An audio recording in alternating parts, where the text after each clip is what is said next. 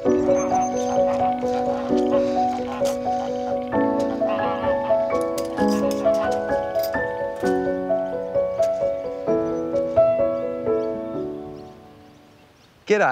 this is me, and this is my garden path. Most days I look this scruffy because I work as an orchardist looking after 10,000 cherry trees on five and a half hectares.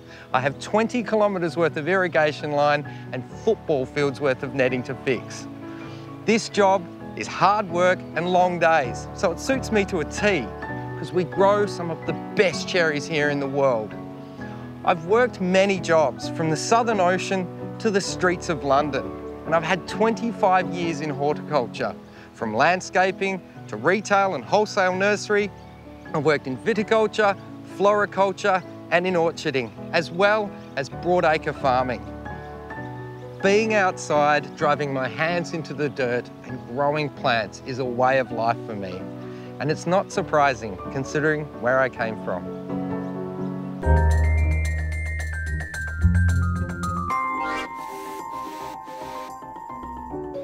This is my dad, Roberto Carnevale, a first generation immigrant from Italy who instilled in me his traditions, a love of family and growing good food. I told you it would have been like that uh, garlic. That should have been that much taller. Anyway, what's that? Uh, like Farmer Brown. Farmer Brown. Come on, I'll give you a shot. really? Yep. Cool. Now, Dad, your trade is as a barber, isn't it? But you've always preferred to be outside. Yep, always. I uh, become a barber by mistake. when I come here, I always wanted a bit of land, preferably with the river, and I found it here. So, what have you got growing here? At the moment, we got the vineyard, which produce some beautiful wines.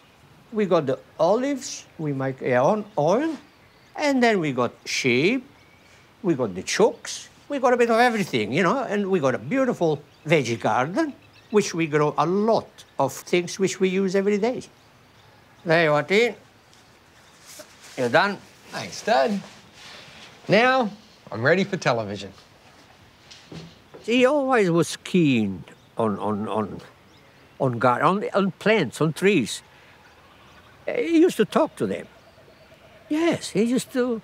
And in matter of fact, sometime for some reason I had to cut a tree or, oh, or even a branch. He used to go crook. No, Dad, don't do that. yeah, he was always like this, and uh, uh, he was always gentle. In matter of fact, I used to call him Gentle Tino when he was little.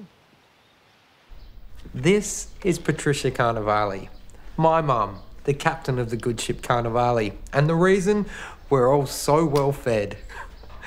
Well, yes, food was very important, and that's what made you such a strong, sporting young man when you were a boy. We followed him around all over Hobart to all of his sporting activities. Yeah, well, I must have been all right at it. I played rugby union for five years and represented the state, so. And did very well. I gave up when he started rugby because I couldn't learn any more rules. So, Mum, you're of Tasmanian stock. Yes. But you married into an Italian culture and you immersed yourself in it. Yes. And I've tried to give you children the best of both cultures so that I was always very important that you had access to both sides of your heritage.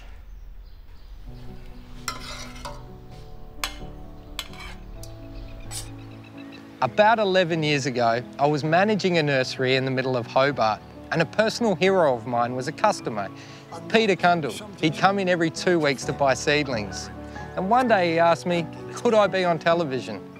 And I said yes, thinking he was going to come round to my garden and interview me. I obviously mistook his intentions because here we are today. G'day there. My name's Tino Carnevale, and I've been given the great honour of looking after the great Peter Cundall's veggie patch here at the Royal Tasmanian Botanical Gardens. And as you might be able to tell, there's a fair bit of work to do.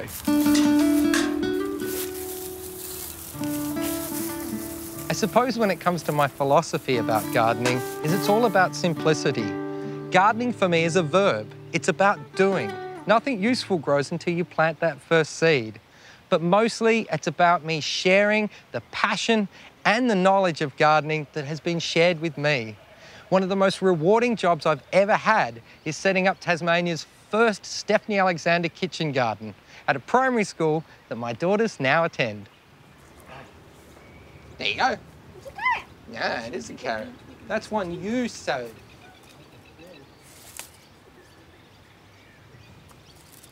So there you go, my past, my present, and my future.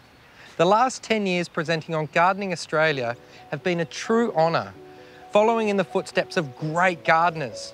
But by far the best thing is that, seeing my kids develop a love of gardening that they'll keep with them for the rest of their days.